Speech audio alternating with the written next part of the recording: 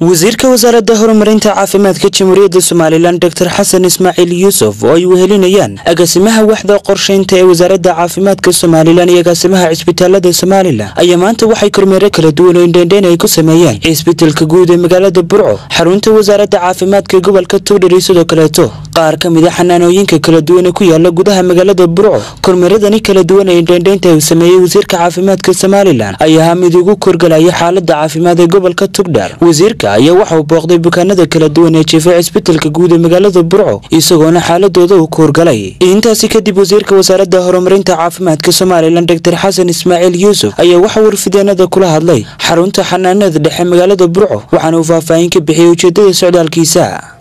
Waxa weeyaan waa kormeerkii caadiga ahaa ee aanu ku marray gobollada kale waxaanu soo marray sool iyo sanaag horena waxaan u soo marray awdal iyo iyo saaxib waa kormeer caadiya iminkana haddii halka dhigo waxaan halkan markaanu ka baxna sii mari doonaa magaalada sheekh iyo goobo aanu ka furi doonno gobolka saaxil. Laba m c h aanu ka sii furi doonno dabeedna waxaan ku hoyan doonaa marada jeex. Siday arkayseen waxaanu soo indhaydheynaynay bukaanka jiifay cusbitaalka iyo warar kala duwanaa.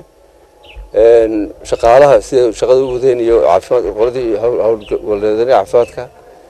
m c h kan markaynu joognan waxaynu eegaynay qaybo maanaan wada marin dhammaantood qolqol maanaan wada gelin.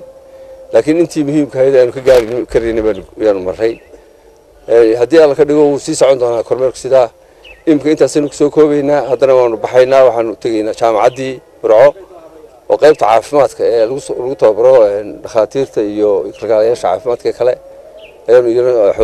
waraysan doonaa soona indhaydhayn doonaa siday u socoto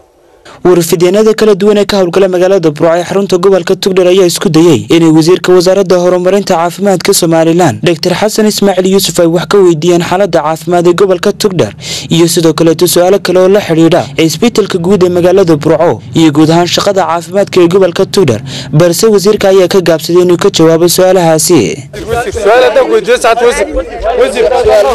Waa khaalid bakayle fogaan aragga xorta star t v burco